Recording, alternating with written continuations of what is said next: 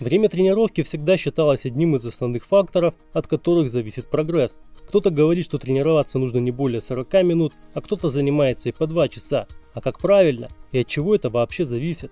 На самом деле теория тренинга в 30-40 минут базируется на времени выработки гормонов. Если в самом начале тренировки мы увидим пик выработки гормона роста, то уже примерно через 30 минут его концентрация начинает снижаться.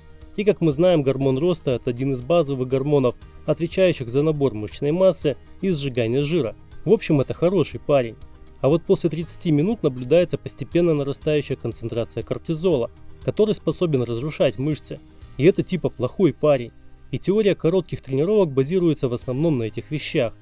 То есть добиваемся максимальных пиков полезных гормонов и минимальных пиков вредных. Но на самом деле наука уже шагнула далеко вперед, и на сегодняшний день совершенно очевидно, что концентрация тех или иных гормонов в моменте не играет никакой ключевой роли в долгосрочном проекте роста мышц. Пики и спады гормонов – это физиологический естественный процесс. Если тот или иной гормон вырос, а потом падает, это не значит, что нужно собираться и бежать домой спать. В теории коротких тренировок все же есть положительные стороны. Дело в том, что как минимум в 50% случаев отсутствие прогресса можно связать с перетренированностью. Это когда человек тренируется больше, чем потом может восстановить. И в какой-то степени короткие тренировки – это защита от перетренированности. Но так или иначе нельзя сказать, что короткие тренировки будут лучше, чем более длинные, от часа и больше.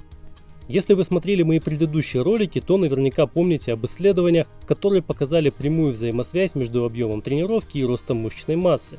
Если говорить о силе, то, как оказалось, увеличивать силовые показатели можно даже тренируясь три раза в неделю по 15 минут.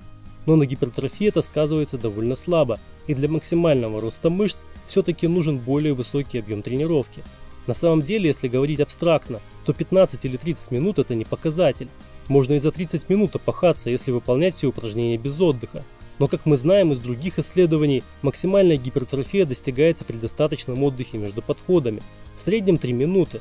И если собрать в кучу все подходы, повторения, упражнения и все, что мы знаем, то получится, что мы должны выполнять за одну тренировку 2-3 упражнения на большую мышечную группу и примерно 2 на маленькую. В среднем по 2 рабочих подхода в каждом упражнении.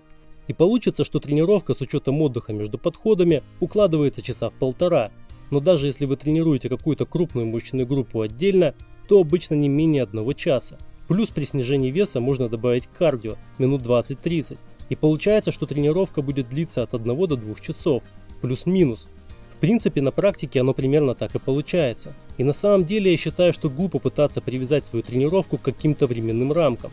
Тренировку нужно привязывать к мышечной группе, к набору упражнений, к количеству подходов, рабочих весов и времени отдыха. И совокупно все эти вещи определяют ее продолжительность. Если вы чувствуете, что между подходами вам нужно отдохнуть больше, но при этом тренировка у вас растянется во времени, то лучше все-таки отдохнуть больше, при этом сделав каждый новый подход более продуктивным. И это правильно.